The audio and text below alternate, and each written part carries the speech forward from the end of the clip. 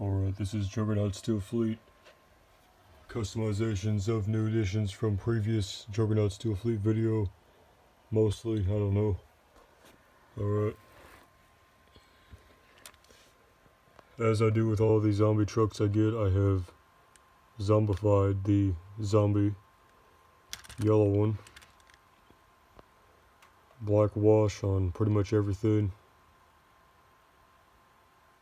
Looks a lot more gritty, bloody, or not really bloody since there's no, uh, no blood. I guess that's kind of blood. I don't know, it's probably mouth. Could have done better on the back here. And between this Z right here, there's nothing. I don't know why I missed that. Of course, I did all the chrome detail and all, and all that.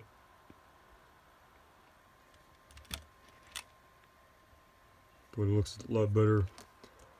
This is what it looks like default, actually, not really. This is going to be another one I'm doing. This is not how it comes with if you buy the store. The yellow roll cage and white tires is my own doing. As you can see, the difference is night and day. The clear winner is the one on the left done by yours truly. I don't know how that I that that hair and that ponytail doesn't even match in color. I get that's probably supposed to be frosted tips since this zombie is a woman apparently. But uh, I don't know, it just looks silly and dumb. I'd much rather it look, you know, like a zombie. But uh, yeah, actually, let me get a thumbnail real quick.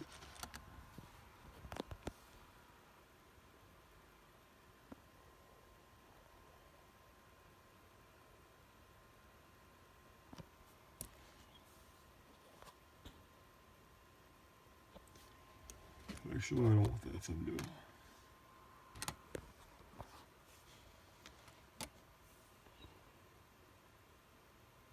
Alright. So I have the zombie collection video on my account already, so go look at that one if you want the other versions of this that have been mummified, zombified, whatever like that. The two mystery motor gravediggers that I got were this one, which I might already have, the GD113. I put it on the blue Son-uva Digger body. Did all the chrome detailing, obviously.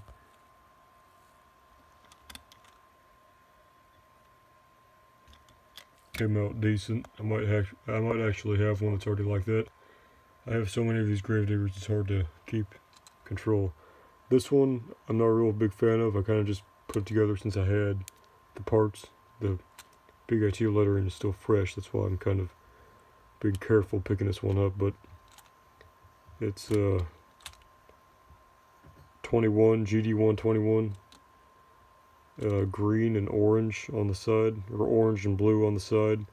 This would be a lot better if it had blue flames or orange flames. So we go with the side graphics more, or even pink flames. If this had pink flames to match the mountain, it'd be goaded.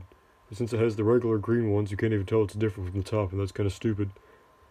Anyway, I threw the red red roll cage on here, and the gray. This is the gray, uh, or I guess silver, silver wolf's head base. Uh, pretty much, I just kind of threw it together because I thought it'd work. I don't know if it really does. I'm saving my best one for last. El Toro Loco Black, nothing special about this one. This is just uh, chromed up details, did the BKT lettering. Kind of shittily, I might say, since that B is totally not a B. The more you use the white uh, fine point markers for these BKT lettering, the more scrunched down they get and thicker they get. It's harder to get that precise fine point, you know, crisp BKT lettering because it's all smudgy and gross. But yeah, that'd look a lot better if it was chrome instead of gray plastic. This one haven't done yet. It's just going to be that only with the chrome and everything, the BKT lettering.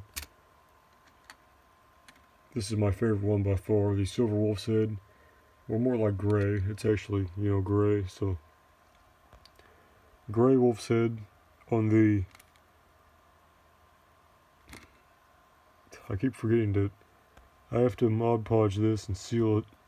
And I keep on picking it up right by where I'm not supposed to. Did the chrome detailing, obviously. This entire thing is gray, which actually works out because it's a gray body.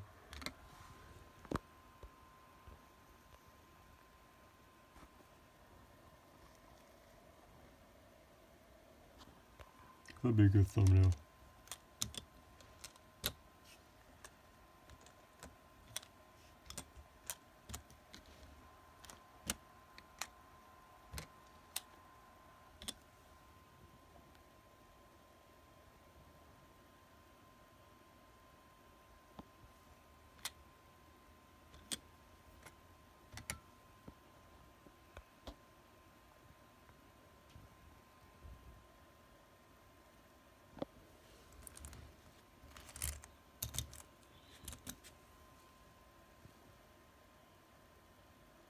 There we go. Alright, so that's pretty much it. That looks a lot better in person, but yeah, I'm a big fan of that. So, yeah, that's it. Obviously, the two ones I like most are these two. Uh, the Gravediggers are nice, but I already have pretty much better versions of them. So, uh, yeah, that's it. Farewell.